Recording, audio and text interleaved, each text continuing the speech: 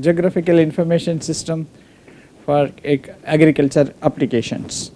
Now we have been talking about what was the different methods, different data sets which we have which we were using it for the past so many years. That includes your cadastral map, then rate card or uh, ROR that is about your farmland activities, then topographic sheets and further on. And there were problems in knowing what is happening in the rest of the area in addition to what you are looking for. So, and the second thing is there were no references with reference to whatever they have surveyed. surveyed. So, now there is a need because of the global climatic change and other things we need to know what is happening in our field as well as in the adjoining areas. For this purpose we need to georeference the or we need to look around the all the data sets in one platform and then integrate it, analyze it and then get a information. For this purpose we were trying to use the geographical information system is being is useful in doing all those things in analyzing it in space, in time and other activities.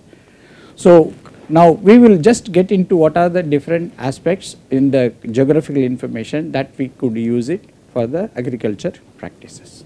Geographical information system is a system designed to capture, capture in the sense wherever it is, however it is the data could be captured and stored in the computer and the, the integrated data could be manipulated, manipulated in the sense giving to a common reference system of mapping and also you can analyze as well as manage the data sets and present all type of spatial or geographical data.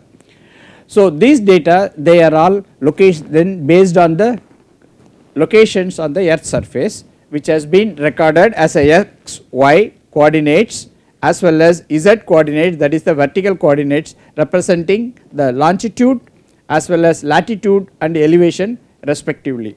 This portion can also record dates as well as time of the occurrence of the any event that we are going to record on that surface.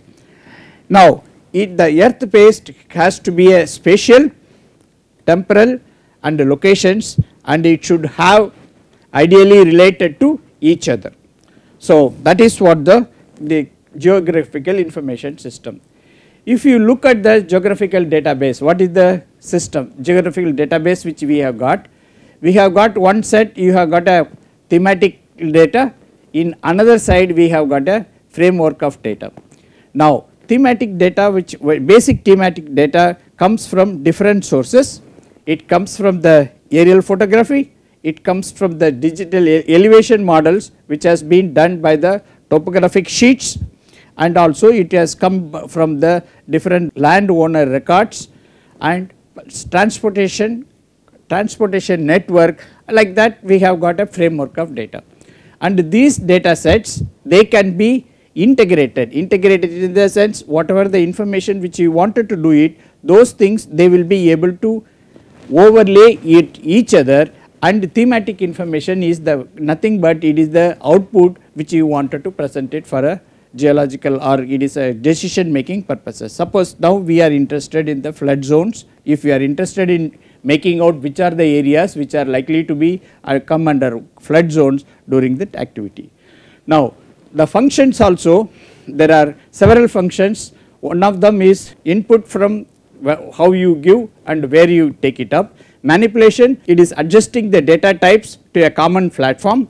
Management and query and analysis nothing but it is what is the information result like the thematic data which you wanted to do that could be done. Visualization is possible either in the form of a map either in the form of a table or either in the form of a chart and other things so that your, your results can be presented to a decision making bodies. Now another yeah, another view that we want to just to see that is the different layers one thing is this is the data these are all the georeference points on either side of on on all four corners and this is captured and the road network is given over here and here it is position of the various structures on this side and vegetation cover in and around as a separate layer that has been done over there. But in, after integrating all the things this type of information what you are likely to get is the one where you have a road where you have the well, actually it is nothing but what you see it on the reality content. So, each reality content has got a relevance as an attribute data. These attribute data are given over here in the form of a in the form of a different features and what else and it is the address and it is uh, IDU code. So, then in this way what we can do is different type of data layers can be merged and you can say and you can visualize or you can project it as though what do you see it on the reality things. So, what are the different type of data set DAS which we can use it? One thing is a desktop data right. So, wherein your your uh, the software is installed and runs on a personal computer on the side. The another one is on the web, web GIS. This is on a G, for an online GIS applications having data visualization tool is very good in this category.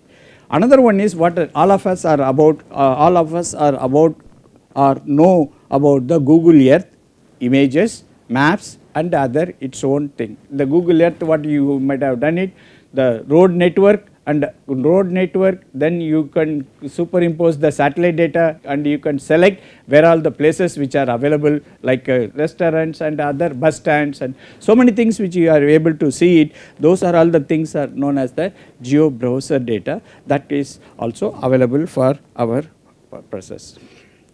So, these data sets what we have got is nothing but this is how we will be able to use the geographical information system on a different platforms and it can be given it for a different information or different decision making bodies that is what we wanted to show it as a short presentation.